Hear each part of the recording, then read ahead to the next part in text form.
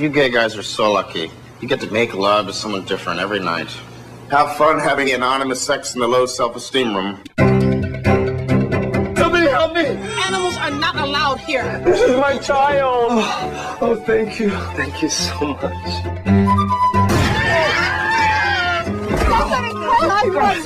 It's you, the dog guy. Hi. Hey. Wow. Let me ask you out to dinner.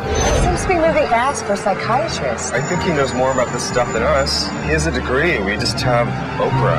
Now, Oprah has made it impossible for me to have a close relationship with anyone besides Oprah.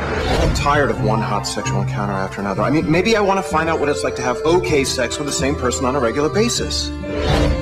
Very disappointed in you, Steve. Obviously, you're not the person that I thought you were. Michael, I can still see you. From the team that brought you Latter Days. Mom, Dad, I think it's important that we express our normal, healthy affection for each other uh, in your presence. Comes an irreverent romantic comedy that follows every rule. Don't you dare say a word to him or Rhonda. And invents a couple of new ones along the way. You wouldn't understand. She's a woman. They have their ways. Well, she hypnotized you with her feminine wiles? Yes, she did. She did, actually. Chester, Malcolm Gets, Parker Posey, Chris Kattan. Adam and Steve.